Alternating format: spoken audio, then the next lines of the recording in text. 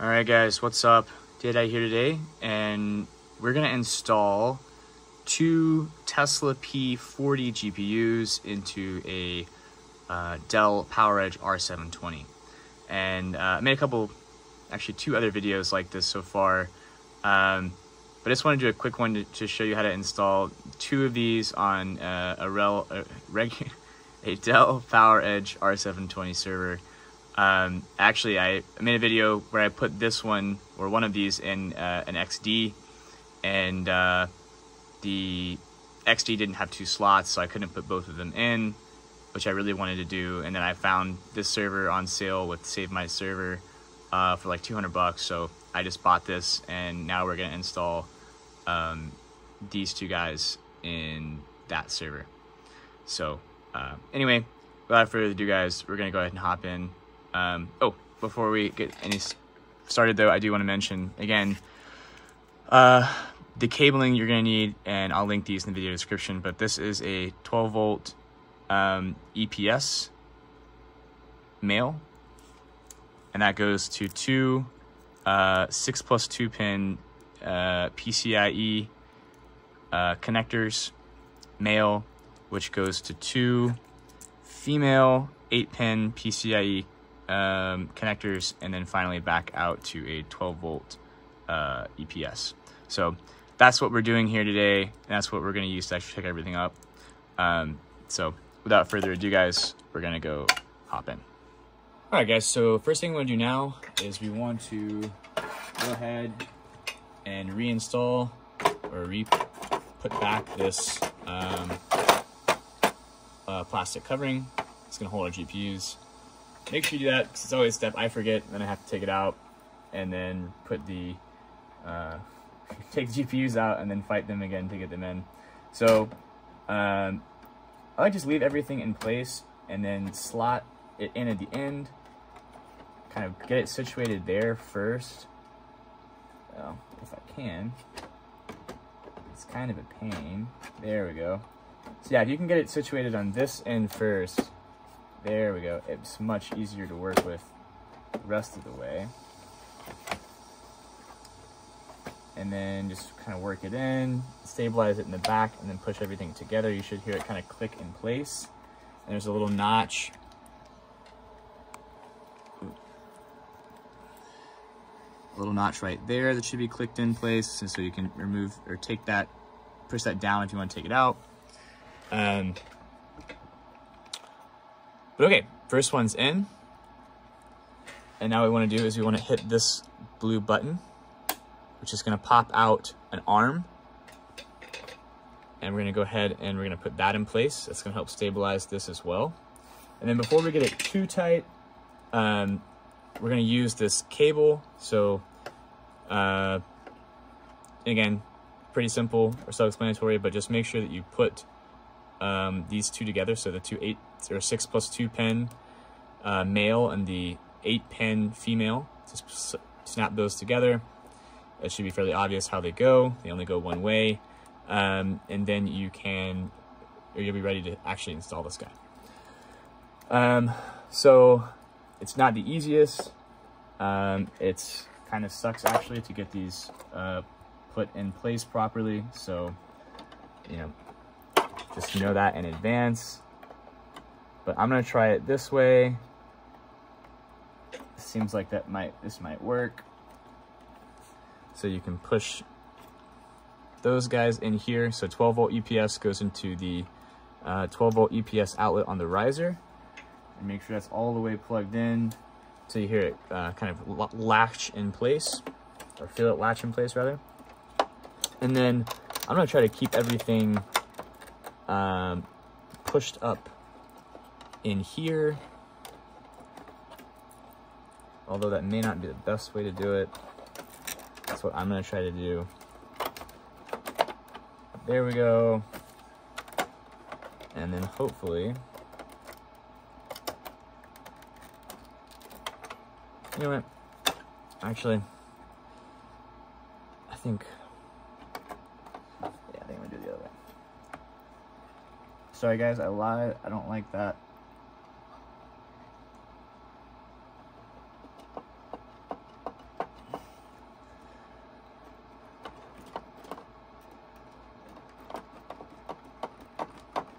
There we go.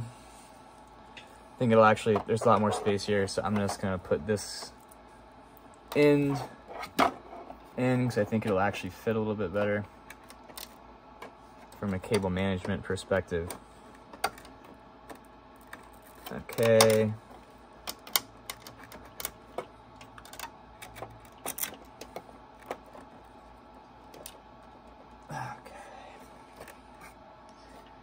Certainly doesn't really like to go this way, it seems like, but alas, that's kind of what it has to do.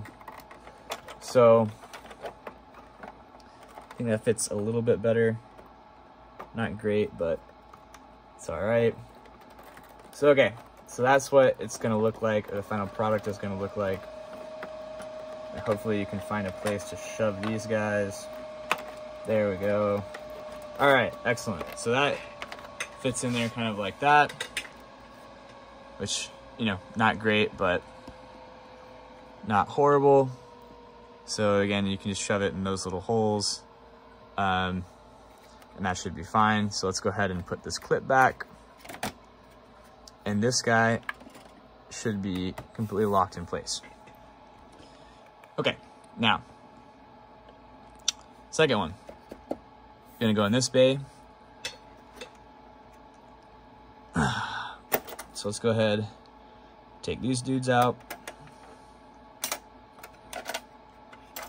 All right, same procedure.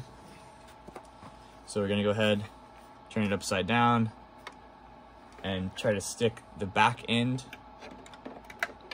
in first until they kind of clip in, or get close to clipping in, I should say. And then uh, angle it so that goes into the into the riser, into the PCIe slots on the riser.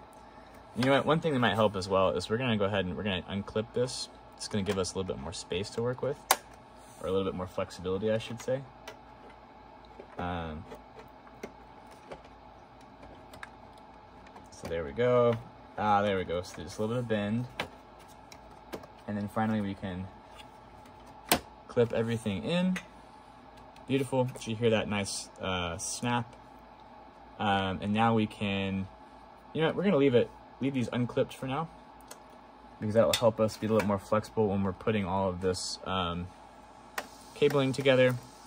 So again, we're going to uh, clip these together and this guy together. Those are locked in place. Uh, and now is the fun task of figuring out how um, we're actually going to route this. So at first glance, it looks like it's going to be easiest to fish this under if it's possible. Probably should have done this beforehand, before I started. In fact, we're going to go ahead and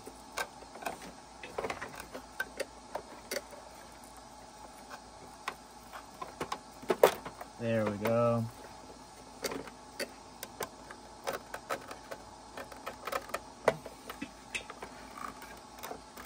All right.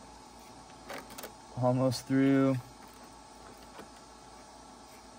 Now, yeah, you would absolutely would want to do this before you start.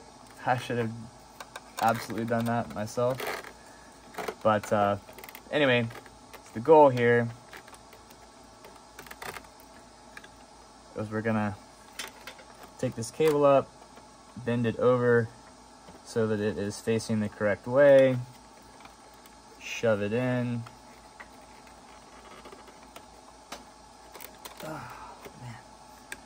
You what, cable management this sucks. I wish they made a better cable. They actually, there is a better way to do this. There's a guy that makes custom 12 volt EPS to 12 volt EPS specifically for this style of GPUs, and I'll, I'll link his uh, description in the bio. But I just, I try not to use custom parts as much as possible. This makes things complicated or more complicated. If you need to replace them, it's hard to find. So anyway, I try to stick to the to mainstream stuff you can buy on eBay or whatever. And these are the only parts I could really find that seem to fit the bill. So, uh, anyway, all right, that's the second one. So under, starting through here, under the GPU, and then they just kind of pop out and you can shove everything uh, in here. So not the most graceful solution by any means, um, just kind of shoved in there, but it does work. Um, so, and so far I haven't had any, I have two P100s in another machine and I have, hadn't had any heat issues with that. So, you know, I'll report back if I do, but for now it seems to work out pretty well. And what we're gonna do now is we're gonna go ahead and clip everything back in place. Gonna get these GPUs locked in. So that guy's good now. There we go. So that's clipped in. And then we also want to make sure we clip on this side as well. So there's a blue button right there. Press that. And this guy's gonna come out. And it's gonna be a little bit stiff, so you're gonna have to press on it. But that's gonna lock this guy in. Uh, and there you go, guys. That is how to install uh, GPUs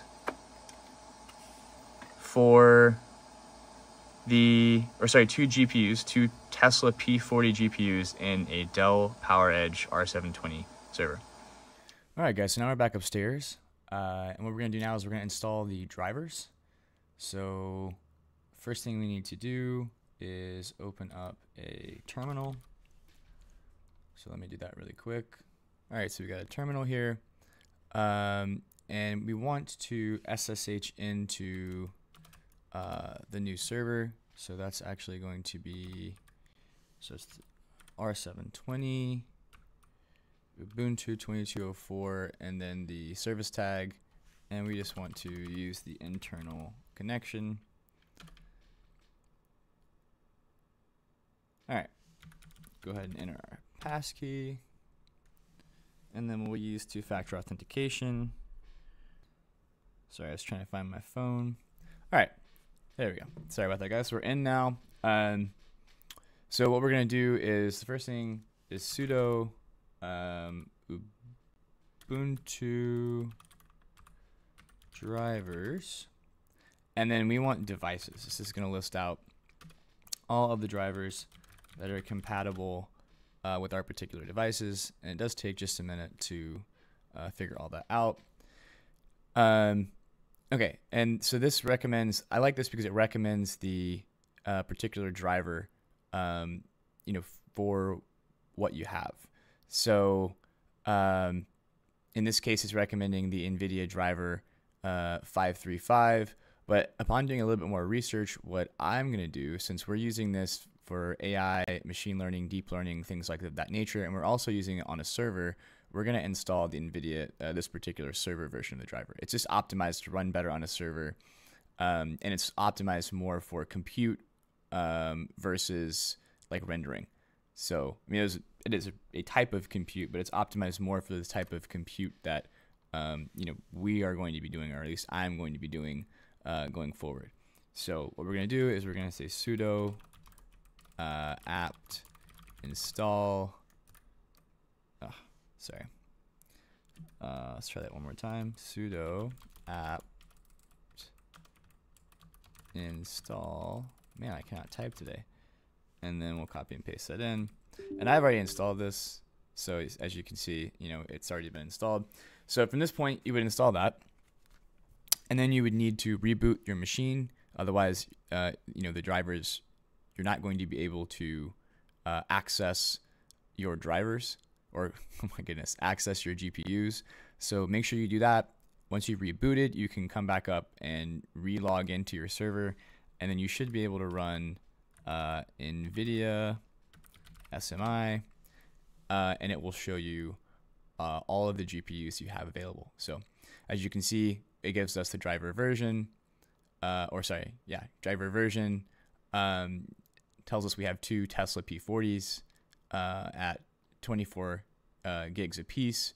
So, um, you know, this is this is what you should see, and this will tell you that you're ready to start using these in all of your um, AI, ML, and DL projects.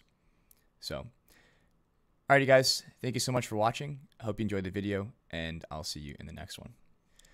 All right, guys, brief reminder here. If you enjoyed the content, please consider giving me a like and a subscribe so I can continue to grow and produce better and better content for you. If you really enjoyed the content, you might even consider buying me a coffee, and the link for how to do that will be in the video description below. Um, if nothing else, please just give me some feedback in the comments and let me know how I'm doing, uh, if anything's unclear, or if there are anything uh, that I can improve on. Thank you again, guys, and have a great rest of your day. Bye bye.